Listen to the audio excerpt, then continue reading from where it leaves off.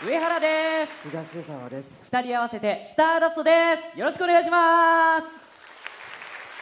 こっちがスターで僕がダストです。いやいやそんなことないだろう。二人でスターダストだから。ダストですからゴミ扱いいやですね。違うよ違うよ。それにスターダストって星屑って意味だからこの場合はクズっていう意味合いが強いんじゃないかな。聞きましたか今の。